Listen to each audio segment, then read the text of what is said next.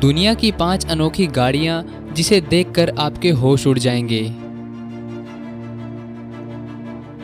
Jet लीमो। तो दोस्तों, इसे देखिए, यह है एक जेट प्लेन जिसे मॉडिफाई करके एक कार बना दिया है। जी हाँ बिल्कुल सही सुना।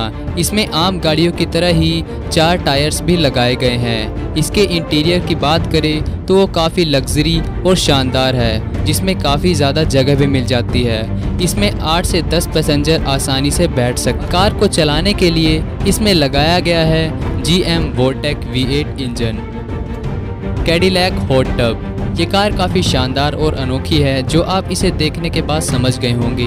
ये एक कैडिलैक कार है, जिसे मॉडिफाई करके इसमें एक बाट टब बना दिया है। अगर आप बाट टब या फिर पूल में रहना पसंद करते हो तो ये कार आपको काफ़ी पसंद आएगी।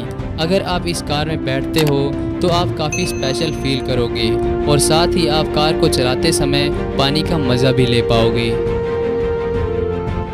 Banana car. आपने केला तो खाया ही होगा, पर क्या आपने कभी केले जैसे आकार वाली कार देखी है?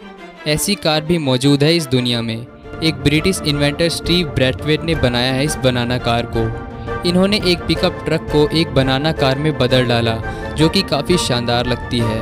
इस कार में 320 C I Ford V engine लगा है और इसे बनाने में 17 लाख रुपए का खर्चा आया था। और ये कार 136 किलोमीटर पर आवर तक की स्पीड तक पहुँच जाती है। Thrust SSC.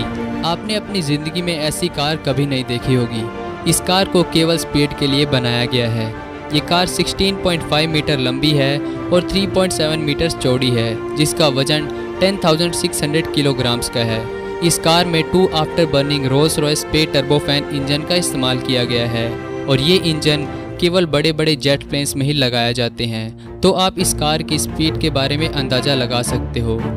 15 अक्टूबर 1997 को इस कार ने 1228 किलोमीटर पर आर की स्पीड टारगेट को अचीव किया था। इसलिए ये कार सबसे हटके और अनोखी कार है। Fire force three jet car. ये कार अनोखी इसलिए है क्योंकि ये एक जेट कार है। इस कार को आगे से काफ़ी प्लेन डिज़ाइन किया गया है ताकि ये हवा को काट सके और ज़्यादा से ज़्यादा स्पीड तक पहुँच सके।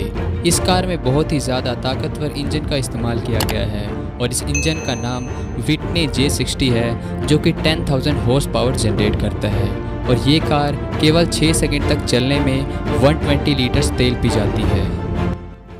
तो अगर आपको ये वीडियो अच्छी लगी इसे लाइक एंड शेयर कीजिए और मेरे चैनल को सब्सक्राइब कर दीजिए।